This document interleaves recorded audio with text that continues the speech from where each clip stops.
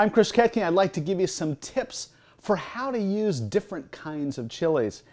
In the world of chilies, there are many to choose from, but they can be kind of divided up into two camps, into the fresh chilies and into the dried chilies.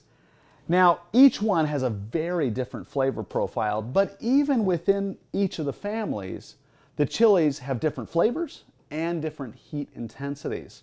For instance, a jalapeno is moderately spicy. When you compare it though to a habanero, it's completely night and day.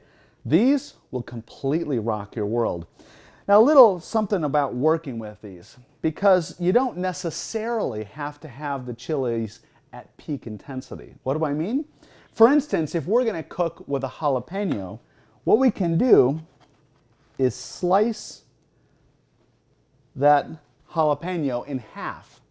And then you see all this in here, see all this white stuff, the veins, and underneath it you have all the seeds. The hottest part of the chili is actually all of this white vein right over here. Now the seeds come in a close second, so if you really don't want the intensity of this chili, what you can do is just take a paring knife and cut alongside the flesh and very simply take out the majority of the vein and the seeds. Now if you really want to tone the heat down, you can get in here and remove a great percentage of the vein and all of the seeds. And now, this chili is a lot less spicy than if you were going to use this one. When we look at the dried chilies, dried chilies are kind of the same story because they also have very different uh, heat intensities and very different flavors. And it's kind of interesting because the names of the chilies change from when they're fresh to when they're dried.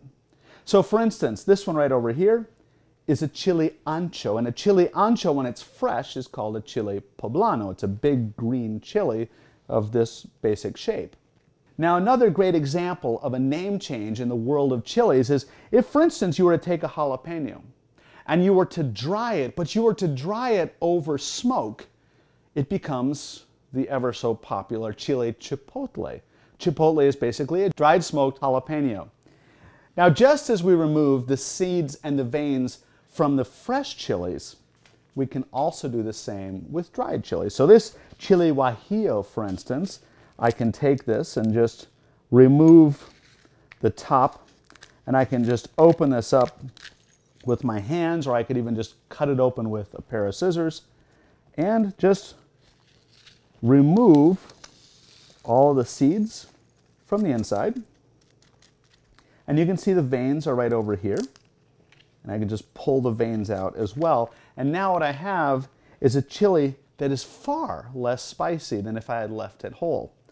There's a lot of things that you can do with dried chilies. You can rehydrate them in water and turn them into salsas, into moles, into marinades. You can also buy them ground up. Because if we have, for instance, these chili flakes, that started as a whole chili, or this right over here, which is ground up cayenne, very spicy, and that started from a dried chili that's called a cayenne. One important note, when you're working with chilies, remember how they burn your mouth. They will also burn your skin as well.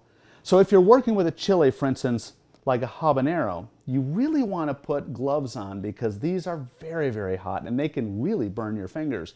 But very importantly, with all chilies, when you're done working with them, you have to wash your hands with plenty of soap and water right away when you're done because you still have all of that spiciness on your fingers. And if you do something like itch your eye, it's very, very uncomfortable. So remember, wash your hands as soon as you're done working with the chilies.